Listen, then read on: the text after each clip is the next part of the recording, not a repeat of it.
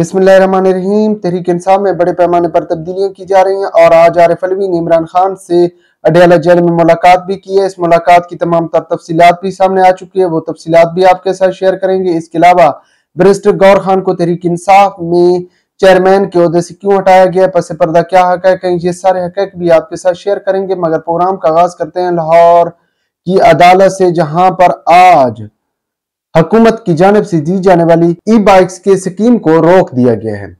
عدالت کی طرف سے جو ریمارکس سامنے آئے ہیں، ان پر سر پیٹنے کو دل کرتا ہے۔ عدالت نے کہا ہے کہ ای بائکس دینے سے بچے ون ویلنگ کریں گے۔ اس کے علاوہ لڑکے جو ہیں، وہ لڑکیوں کے سکول کی بیٹھ جایا کریں گے۔ بڑی عجیب و غریب قسم کی ریمارکس سامنے آئے ہیں۔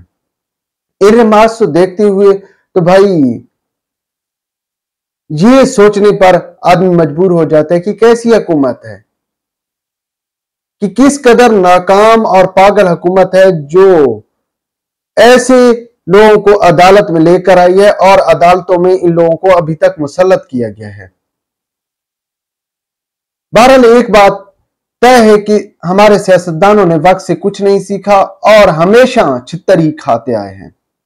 اور آج بھی ان تمام معاملات پر سیاستدان اکٹھے ہونے کو تیار نہیں ہے نہ ہی عدالتی اصلاحات کے لیے کہیں کوئی پلان ترتیب پا رہا ہے۔ اور یہ سلسلہ ایسے ہی چلتا رہے گا۔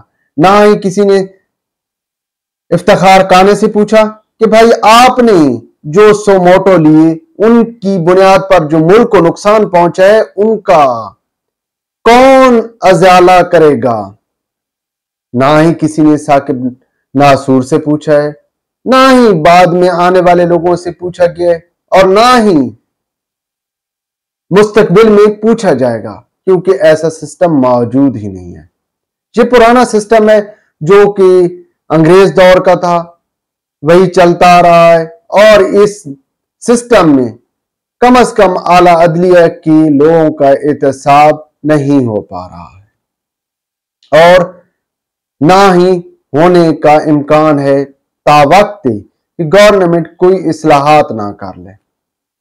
اس کے علاوہ ایک اور اہم اپڈیٹ آپ کے ساتھ شیئر کی ہے کہ تحریک انصاف میں بڑے پیمانے پر تبدیلیاں کی جا رہی ہیں۔ آپ نے پچھلے کچھ دنوں سے دیکھا ہے کہ وکلا کو جو تحریک انصاف کے لوگ تھے بڑھ چڑھ کر بول رہے ہوتے تھے، بڑھ چڑھ کر میڈیا ٹاک شو میں حصہ لے رہے ہوتے تھے، لیکن نہ ہی عدالتی معاملات میں وہ بڑھ چڑھ کر حصہ لیتے تھے اور نہ ہی جب کبھی تحریک انصاف نے جل سے جلوس یا احتجاج کا اعلان کیا تو وہ نظر آئے ہیں۔ تو اب بھائی ان کو ہٹانے کا سلسلہ شروع ہو چکا ہے اور اس کی ابتدا ہوئی تھی شیر افضل مروت سے۔ شیر افضل مروت کو سائڈ پر کر دیا گیا ہے۔ شیر افضل مروت جس نے تھوڑے ہی وقت میں بہت زیادہ فیم حاصل کیا تھا اور جتنی تیزی سے ترقی کر کے گیا تھا، اتنی تیزی سے ہی نیچے دھڑام گرا ہے۔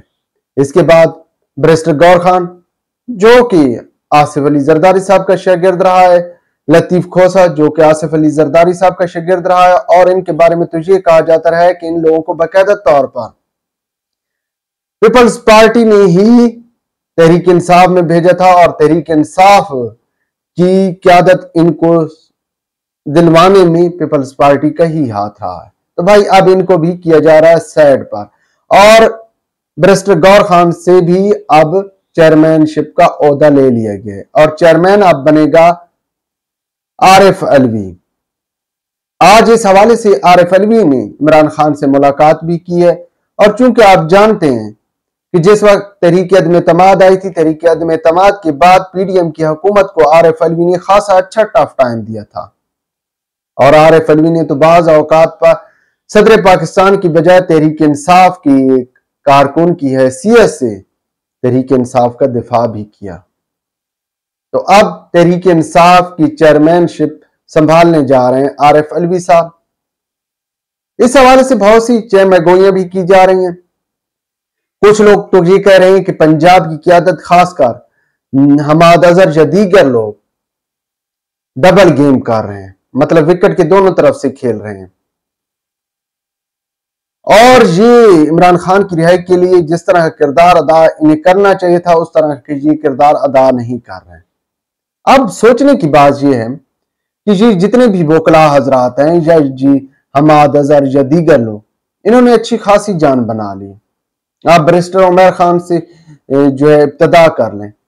برسٹر عمر خان، جس کا والد ضیاء خان تھا، وہ عدلیہ کے ساتھ منسلک رہا، جج رہا۔ اور پھر کبھی نے کبھار تو بندہ پکڑا جاتا ہے اور ایسے ہی ہوا تھا کرپشن کی بنیاد پر اسے نکالا گیا تھا۔ اور برسٹر عمیر خان پر بھی یہی الزامات ہیں، خاص کر افضل خان ڈھانڈلہ کی جو ٹکٹ ہے یا دیگر معاملات ہیں۔ یہی کہا جا رہا ہے کہ انہوں نے اچھا خاصا مال بنایا ہے۔ اور یہاں تک نہیں، بلکہ اوپر بیٹھے ہوئے تمام وکلا تک یہی کہانی بیان کی جا رہی ہے کہ انہوں نے اچھا خاصا مال بنا لی ہے۔ اور یہ عمران خان کے مقدمات یا عمران خان کی رہائی کے لیے یا تحریک انصاف کو لیڈ کرنے کی بجائے اپنی ذات کو لیڈ کر رہے ہیں۔ اس لیے ان کو اب کر لیے گئے سائڈ پر۔ اور تحریک انصاف کی قیادت اب سنبھالیں گے عارف الوی صاحب۔ اور چونکہ آپ جانتے ہیں کہ عارف الوی صاحب صدر کے عہدے پر فیض رہے ہیں تو عارف الوی صاحب ایسے شخص ہیں جن کا اسٹیبلشمنٹ کے ساتھ بھی گیارہ مراسم رہے ہیں۔ تو ممکن ہے کہ عارف الوی عمران خان اور اسٹیبلشمنٹ کے درمیان کوئی نہ کوئی پل کا کردار بھی ادا کر لیں۔